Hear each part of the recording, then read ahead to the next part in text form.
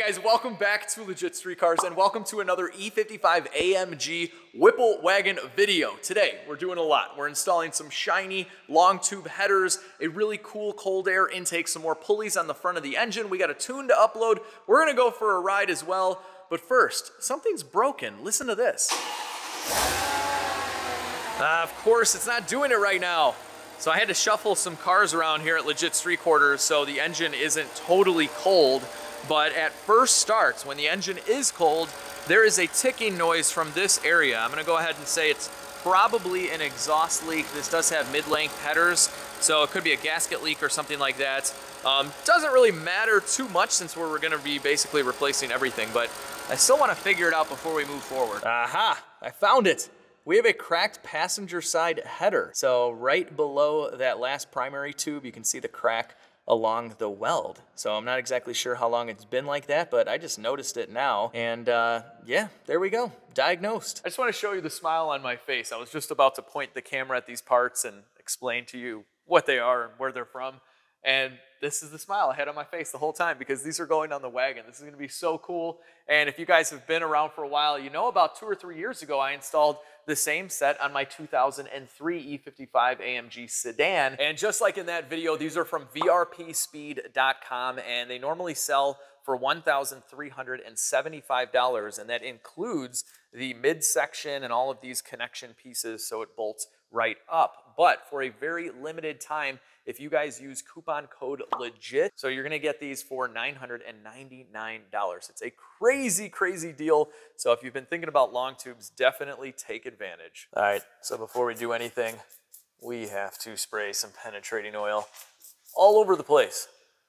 All the way up there too. O2 sensor, fine. We're gonna soak it all.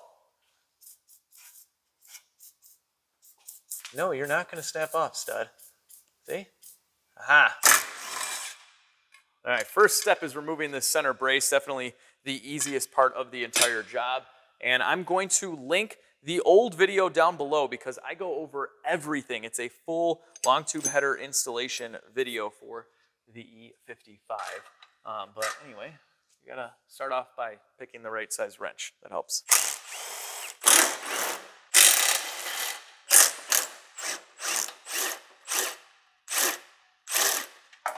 All right, didn't break anything. So far, so good. This is just threaded rod, that's all it is. There are two nuts on each side. Okay, that works, I guess. This is not fun.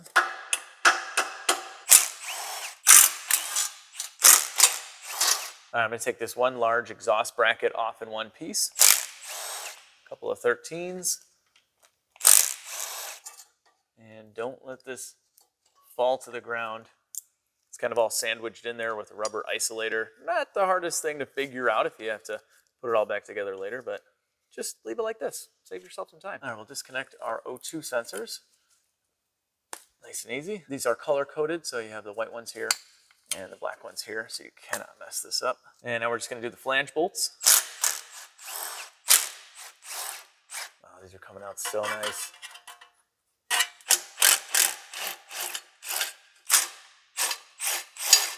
We'll do three more on the driver's side, and then this whole midsection should come out. Is there not one up there? Yeah, one was missing. That. That one was missing. Okay. All right, at this point, just give it a little shimmy. Right, just take a little break here.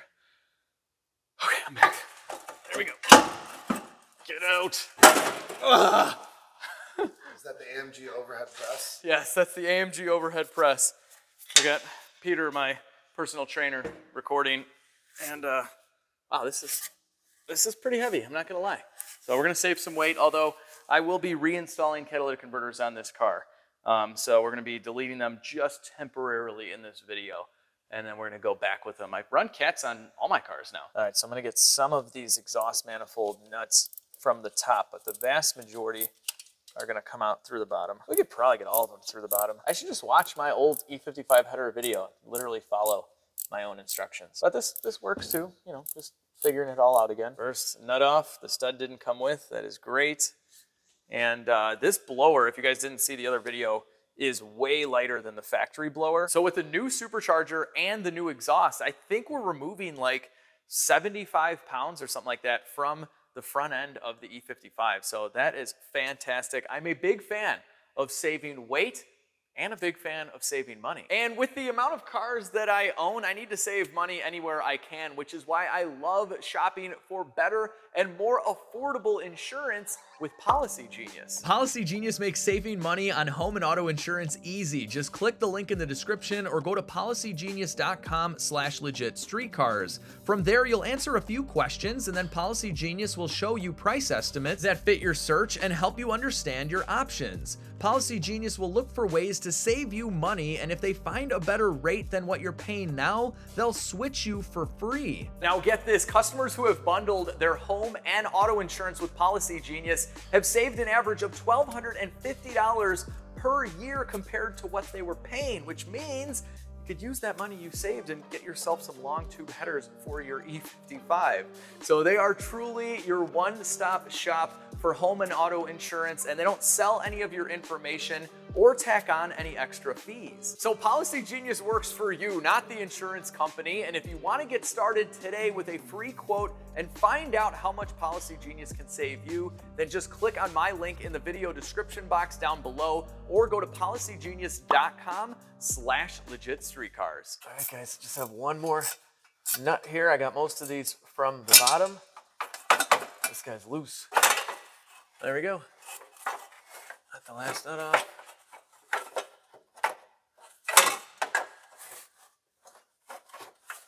Okay, we're taking the steering shaft down.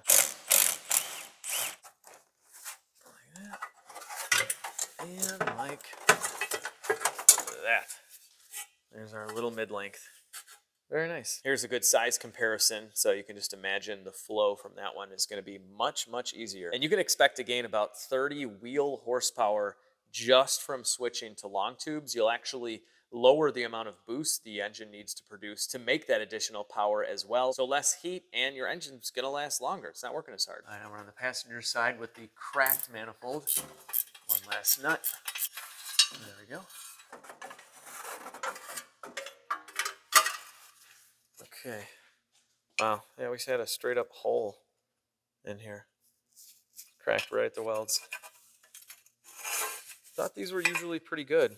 These are probably very, very old though. And the car does have like 146,000 miles. So anyway, bye-bye. All right, next up, we are installing new engine mounts. These are also from Victory Road Performance. And these are kind of a new hybrid engine mount that they have, which has a polyurethane center core and then silicone rings on the bottom portion and the top portion. And so the idea here is that it's not gonna transfer that much vibration into the cabin, but it's also gonna be much stronger than the factory mounts because especially after you modify these cars, those tend to go bad all the time. And as you're about to see, once we get the long tubes in there, you don't want to have to do engine mounts again. Now, if you guys were around for the original E55 long tube header installation video, then you know I use the factory Mercedes Black Series engine mounts, and that is still an excellent option if you guys want a factory mount that offers a little bit more durability. But another advantage to these, and the reason I'm going with these, is because they drop the engine about 10 millimeters. And with this exhaust system, when I did the last one, I noticed that the fitment was a little tight, and we ended up having to do a little bit of custom exhaust work uh, to get it to line up properly. And I remember thinking back then, I'm like, man, if the engine was just lower, all of this would fit much nicer. So eventually they came out with the 10 millimeter lower engine mounts uh, from VRP. And normally I'm not really into a harsh engine mount. I don't want a lot of vibration in there. So then they came out with the silicone rings, which is supposed to fix that. And I'll definitely give you guys my feedback as soon as this is running. All right, with the exhaust manifolds out of the way, look at how much room we have to replace these engine mounts.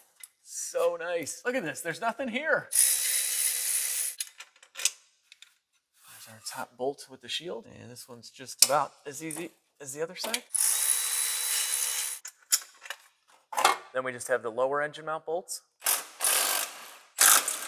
And then I already removed the two 13 millimeters for the transmission mount. We're not gonna be replacing this because this actually got a fresh transmission from Mercedes maybe 20,000 miles ago. It was $6,500 at the dealership. The previous owner did it.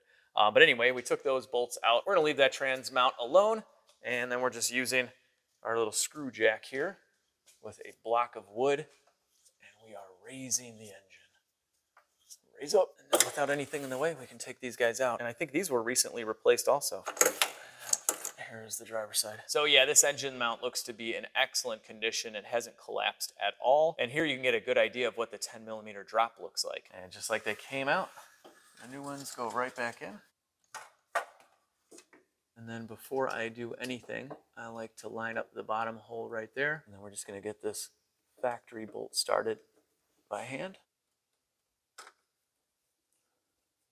If you guys have these manifold gaskets that got stuck, tin snips are the way to go. Just throw them out immediately. You will slice your fingers up with these. All right, now we're going down with the engine.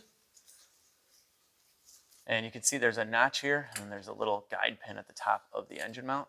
So don't tighten up that bolt just yet. Just want to guide this perfectly down when you're lowering it.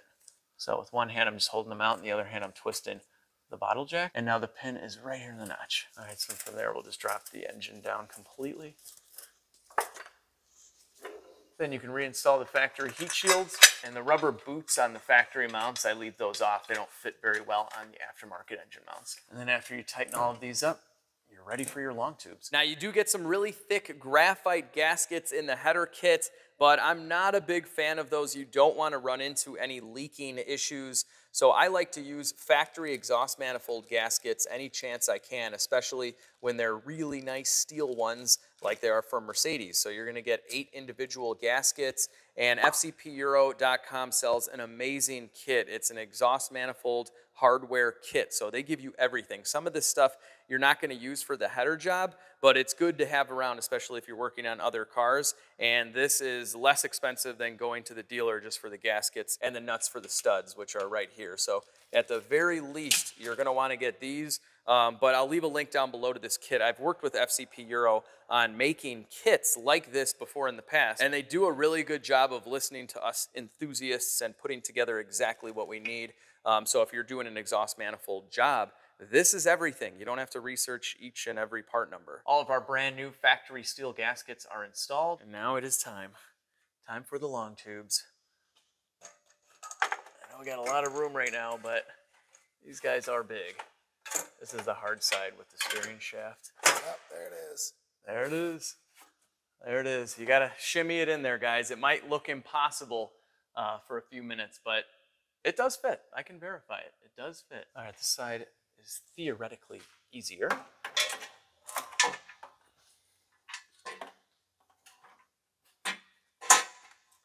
Is that seriously it? That, Seriously.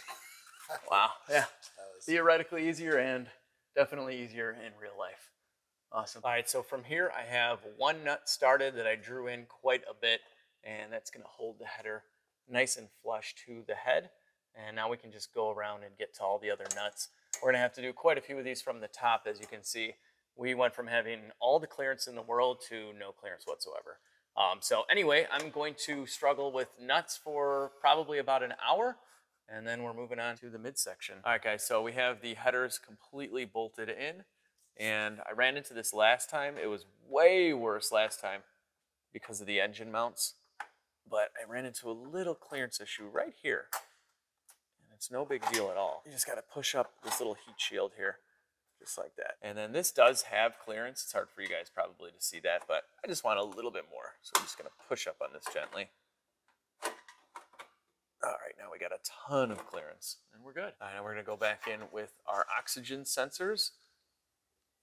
And this is a great time to replace your oxygen sensors if they're old or faulty. But these were switching just fine. I don't suspect any issue with them. A little bit of anti-seize never hurt also.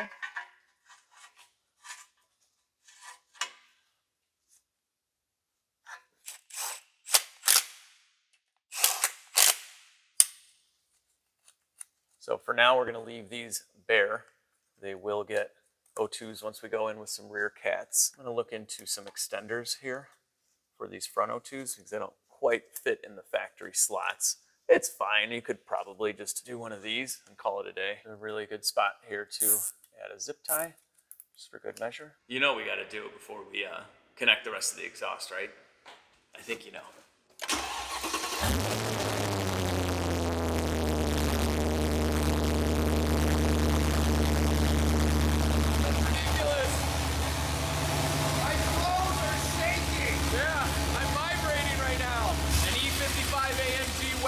With open headers.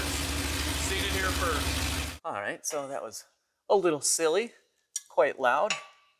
Probably destroyed the microphone, but it was worth it. How do you have open headers on a car and not just, you know, give it a little sound check? Okay, so these guys are adjustable. So we're not gonna go ahead and tighten that just yet. We'll get the rest of the exhaust on. All right, guys, it's time to quiet this wagon down. We're gonna install this entire midsection. Um, and then we're leaving the factory mufflers and resonators for now. We still have some work to do the exhaust later, but the exhaust will be complete. I mean, this could be someone's exhaust for sure after this video. I'm just gonna make some changes later on down the road. So these flexible pieces, I just went ahead and slid those into the midsection. And then it's just kind of a little, little bit of a song and dance here. So slide one end in, and then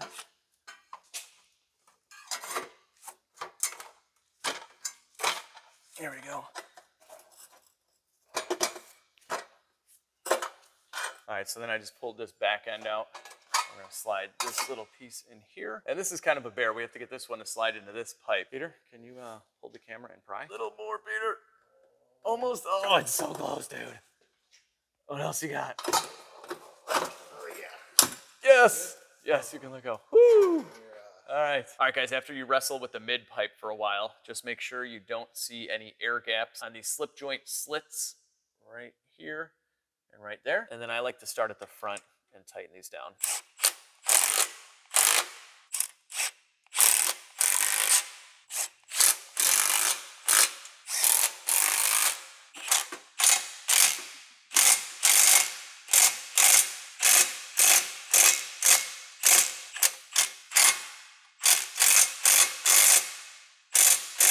All right, guys, at this point, the exhaust looks to be done, but there's usually at least a leak or two that we have to diagnose and then repair. So let's go ahead and start it up. All right, doesn't sound too bad. I definitely hear a ticking though. All right, got a pretty decent leak right here. I didn't go too crazy tightening these just yet. And let's see, nothing there. This is kind of what I was most worried about. And wow, we don't have any leaks from here at all. You can see this one right here. A visual. Water. Oh yeah. Yeah, you can see the water. Ah, that's pretty cool.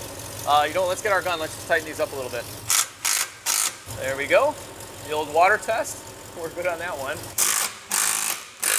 All right, so if your flange here is mangled like mine, maybe just cut it off so it looks pretty, but it won't make any difference as far as sealing goes. There's no leak from anything in this area, uh, and now all these other ones are fixed. Just a little bit of tightening, and that's it.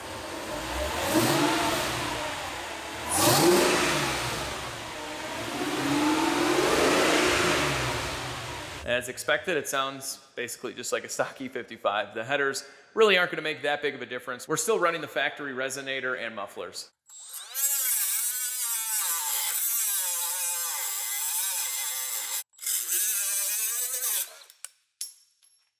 Almost forgot we have to cut this flange off. Get out. All right, next up, we are going to remove this Mickey Mouse air filter that I just threw on here temporarily. We need to do a proper intake. And I was gonna try and run the factory air boxes and the factory Y that goes to the throttle body and then splits off. But I've decided against that, at least for now, because we went from a factory 74 millimeter throttle body to a gigantic Hellcat throttle body. I think this is a 92 millimeter, but these are the same ones off of the Hellcats. And I'm just a little bit worried that the factory air intake system is not gonna flow as much as we need it to flow. So I got this. It's a three inch kit from Victory Road Performance, and these normally come polished, but I sent them to my friends at Wicked Visionz Customs here in Illinois. They do amazing powder coating work. So they did the surge tanks and the valve covers to match the blower. And then I had them powder coat everything else to match as well. So I think this is still gonna look really clean, even though it is aftermarket.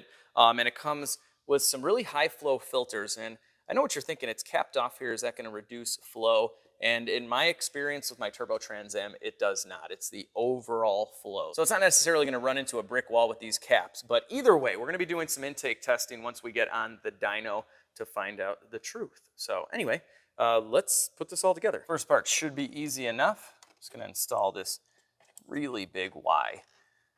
And this is a three and a half, so we're gonna have to use a little shim on the inside. VRP does have a three and a half inch kit, but there's been a little bit of a material shortage issue, if you guys haven't noticed, so they ran out, but I don't think it'll make a huge difference as three inches much bigger than the factory. They kind of squish down the tubing from the factory so it all fits in here nicely. Okay, so this section and this section go together and there's a little rubber gasket inside of here to keep it sealed.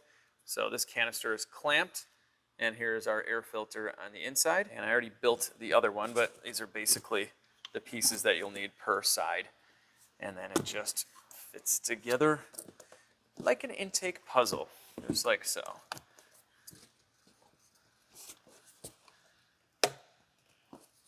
It's basically what it's gonna look like and then we'll have to clock it once we get it on the car. Okay, so I have this side of the intake complete. It's basically like putting this stuff together like a puzzle and there's a lot of little tweaks to kind of get it all to fit. So this can be a little bit frustrating to get these aftermarket intakes to fit, but I think it's well worth it. I think this looks really good. So I'm gonna go ahead and put this side on. All right, so then we're just gonna slide this guy on here I kind of pre-assembled it first. This is just a 45 degree silicone coupler that attaches to the factory cold air intake. So this kind of sucks air from the coldest area in front of the grill. It's a really nice system actually, no reason to change it. Um, so we're gonna be sending the air this way into our throttle body. From the factory, they're just pieces of plastic. They're not clamped on or anything like that. So this is gonna be a way tighter fit. Even if we didn't put clamps here, which if I don't have any laying around the shop, I'll probably just leave it like that. Yeah, that's about 100 times more secure than the factory one. Okay, and then there's a little bit of adjustability kind of in and out. So you just gotta kind of play with it, get it to a point that you're happy with. But anyway. All right, guys, with the intake complete, it's time for our wideband O2 sensor gauge, which is gonna go right here. All right, so first step to install the vent gauge pod. Pull that guy. And we're just gonna remove this wood trim. All right, there we go and there's no screws or anything. These guys just slide right into here. Then we have a total of three T25s, one right here too. Then I was gonna tell you, don't forget the one hidden screw right here and just yank the thing out and break it, but someone already did that for me. It's really hard to tell, but this actually pops out. And then you can see the little hole there, and that's how it's supposed to look, and then you remove the whole thing. You don't break it, but at the end of the day, Two is good enough. Then we're just gonna remove this entire assembly and there is a plug right here. All right, from here we're gonna remove these vent vanes. We're not gonna be reusing these. They just kind of pry out. Like that, it's all gonna kind of fall apart. There you go. And then we have to do the same here. There we go We gutted it. All right, from there, we're just gonna push the new gauge holder in like this, and it's going to fit into these little holes that were for the original vanes. and then you will have to kind of play with it to make it work. It's a very tight fit, so it'll just take you a few minutes of fiddling. Then eventually it'll look like this and like this. And then in order to secure the gauge into the pod, you can either glue it in or wrap some black electrical tape around this lip and then cut off the excess. And then you can just fit it in there nice and secure. It's a tight fit now. And we're good. This thing is not going anywhere. With the gauge installed, we just connect the two wiring harnesses. One of them is going to go all the way down to the wideband O2 sensor. And then on the other one, we just need power and ground. Now I know what you're thinking, we could just use one of these fuses here, but I don't like the ground connections in this area and I'm pretty sure all of these are constant power on. And I know this because I looked back at a video I made four years ago installing the EGT gauge from AEM, the same one with the same gauge holder in the vent on my CDI diesel, and I'll show you where I got the power and ground from. Right here, we ended up using a fuse for the cigarette lighter, and we ran the wiring up real nice and easy by removing this control unit first. So let me copy my own video and do that again. All right, we're just gonna pull out our control unit. and the black plastic holder as well. And now we can see all the wires going in through the firewall. Then if you look in here, we have a factory bag of Mercedes-Benz fluff. All this is is for noise insulation because there's a hole here from the engine compartment into the cabin. So you don't have to remove that or anything, but we can push our wiring harness through right here. Like that. And then here it is. It's coming through the firewall. And over here. And this is much easier if you're not holding the camera, but there is our harness trying to make its way up to see the light of day. All right, then we can just reach into the 211 dash abyss and pull out our harness. And we're gonna do the exact same thing with the other harness that's going to eventually connect down below to the wideband O2. Just feed it in.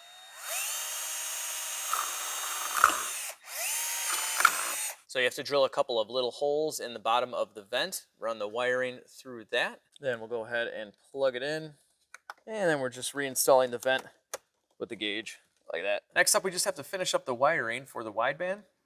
And we're looking for key on power. So here, this one right here, 12 volts, that is on all the time. This is the one we want right here. This doesn't have any power right now, but you can see right now we have battery power and the fan is going nuts because I just turned the key on without the engine computer plugged in. All right, so now I'm just gonna pull out our 15 amp cigarette lighter fuse, pop it in this guy. This is an add-a-circuit. Then we're gonna install a seven and a half amp fuse right here. So what we have going on here is the car's still gonna have its normal 15 amp protection for that cigarette lighter. And then we just added another circuit and the gauge, it only pulls a maximum of five amps. So I just put a seven and a half amp fuse in there. So that's gonna be our added circuit. Now we can simply plug it in like that. So we didn't have to hack up any wiring. This is completely removable and we have a nice power source. Now we just have to make that connection. And I'm gonna show you some very satisfying wiring tools here. This is a wire stripper. Once you get one of these, you'll never go back to anything else. Look at that.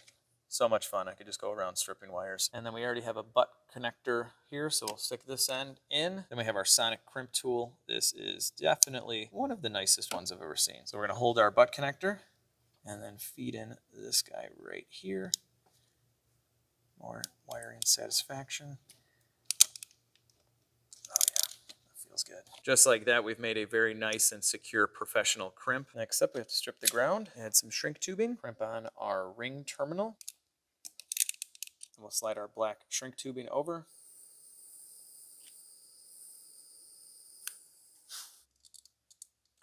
Install our ground nut. And here's our final product before we install the cover there. Uh, and this is another reason I like to pull power from that cigarette lighter fuse is because we can run the ground right from that wideband harness right through here. This is rubber and onto this nice clean ground under the hood. And I use a black wire and some black heat shrink tubing so it's not too intrusive. And also so we have a clean install. This is the harness right here. Goes through here and through the bottom of that grommet. And this is all the wiring that's going to connect to our wideband. So now I can kind of stuff this through. We'll zip tie it in a few spots. I'll show you what that looks like. Um, but I just made a couple little notches in the plastic here so it's a nice pass through. This cover will still fit. Everything sits down nice and flush. But at this point, we can just pop our cover back on, lock the tabs, and it looks pretty clean here. Well, it's actually pretty dirty. I still have to detail the engine compartment, but you know what I mean. Okay, so last step before our drive, we have to upload our new tune. Get the ECU data, and this already had a tune before. All we have to do is go to open file and find our tune. Some Escalade tunes, the 40 MPG EcoVet tune is in here. Whipple Wagon tune for headers. That's the one. Open, and now we can go download file. And I have a battery charger connected and the engine fan disconnected. We want to make sure that the voltage is steady for this entire writing process. And then when you're done, for whatever reason, it said spegnere il quadro per 10 secondi. So turn your ignition off for 10 seconds. I don't know why it's not in English, but whatever. I just got done buttoning everything up, so everything underneath the car is done. All the wiring is done. We're about to test out the wideband O2 and then go for a ride. Uh, we don't have a clamp that'll fit here, but it's not leaking at all, so I'll probably just leave that. And aside from kind of cutting this out and making it look pretty, all of this is done. We have our center brace back on. Uh, the exhaust doesn't leak either. and I just installed the wideband O2 sensor. So all that wiring that you saw up top has all just miraculously disappeared. So we have this wire here running under the heat shields. The connector is actually tucked up under here, so nice and protected. And then all the rest of that wiring, I undid all of these nuts and tucked it in. It's all hidden, so no zip ties or anything. It's all underneath here. So very nice and factory-like. Uh, we have our hardware bolted in here for this little exhaust bracket that is complete. We have our O2s plugged in. Headers are looking extra shiny. Let's go test the wideband. All right, wideband works. Takes a little while to heat up, but we are good to go. All right, guys, we are all done under the hood, and I'm smiling ear to ear. This looks so, so cool. Uh, now, something we're gonna save for another video is putting the heavy duty tensioner on. Uh, I'm gonna do that, dual fuel pumps. We're gonna run this thing on a flex fuel kit, so we have a few more things to do to it. Um, but right now, the tune is zipped in, the intake is done, all the exhaust is done, and we're gonna go for a ride. But first, let's hear this thing.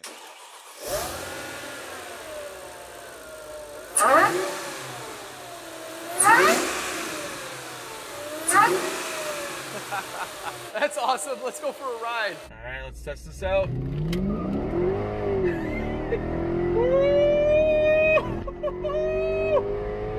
Jesus! yes! It stays in gear. This sounds so good. You gotta be kidding me. oh! It just roasts them. It just roasts them no matter what. oh my gosh. This shouldn't be possible. Wow, does this thing run good? Oh man. So I talked to the tuner and uh, the tune that we had before the last video, he said was a very conservative tune because we were running the mid-length headers um, and we didn't have the intake system. Sorry, I can't even talk. We didn't have the intake system all done. Um, so this tune for the long tube headers and for a proper intake, um, he said you'll notice a huge difference. He's like, that one was just detuned basically. Um, so this could be about a 100 horsepower difference from the last video. And I gotta say, man, I feel it. This is wild. This is wild. and it sounds so good. Like at idle, it doesn't sound really any different um, because we're running factory resonators and factory mufflers. Um, but the headers just give it this really nice, deep, just throaty V8 exhaust sound. Ah, I wish you guys were here with me. This is so cool. Activate launch control.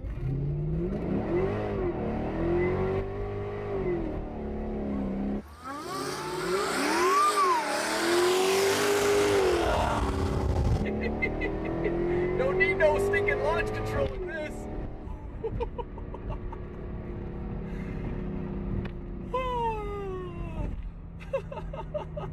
All right, so my review on the engine mounts is they aren't as smooth as the factory ones. We all kind of knew it was gonna go that route, but they're like 10 times better than the previous version, 100% uh, polyurethane mounts. Those kind of shake the car too much for a Mercedes, for, for me. Um, these are a lot better than that, but you can still feel a little bit uh, when you're at idle. Just in drive and park, it's totally fine. yes!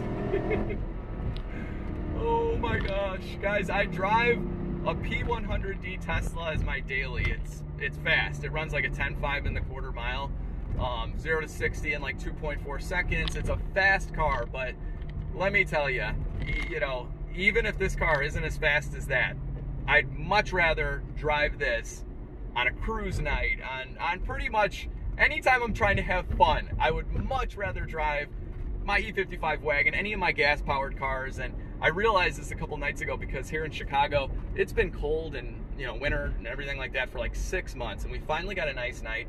And I had to go pick up the intakes from being powder coated, and it was beautiful out. And I opened the sunroof in the Tesla, and I'm going for a cruise, and I'm like, this is you know this should be great and it just it wasn't it wasn't that fun. Like it's a i love the car don't get me wrong but i wanted this. I wanted this or my trans am or you know my lightning or something like that. So there is just so much to be said. That kind of stuff makes me feel so much better about the fact that everything is kind of going electric that these aren't ever going anywhere. Like yeah there's no way.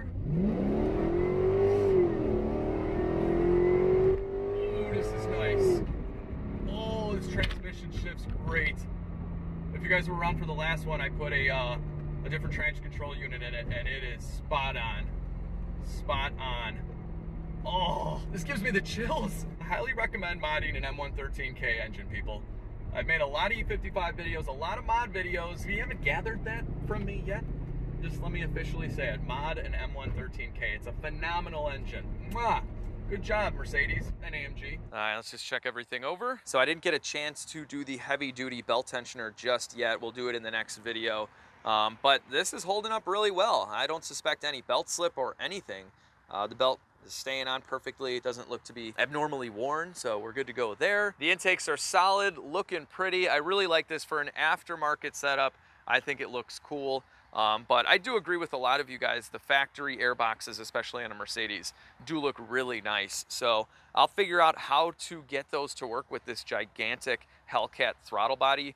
Um, and then when we go on the dyno, we'll just swap them and, and that's it. You guys will know for sure. Also, once we get that heavy duty tensioner with the big bracket and everything, it'll kind of hide these lines right here and make this just look so, so much better. But anyway, I am absolutely in love with this wagon, even more than I was when I first got it. This has always been a dream car for me, and it still blows my mind that they produced and sold so few of these in the United States, like 191 or two or something like that in 2005 and 2006. And then some of the later generations were even more rare, which is crazy. People in America buy wagons. These are awesome. It's a mess back here. I got kid stuff and whatnot, but look at, look at the room you get. And then there's seats in there. Anyway, guys, if you enjoyed this video, give it a thumbs up, share the video, subscribe if you're new. I'm going to leave you with a cool montage that we're about to go make with those guys uh, of the wagon just kind of cruising down a very nice uh, Tree Line forest preserve road. So I hope you guys enjoy that, and I will see you all in the next video. And they're on TikTok now. They, they make dance videos.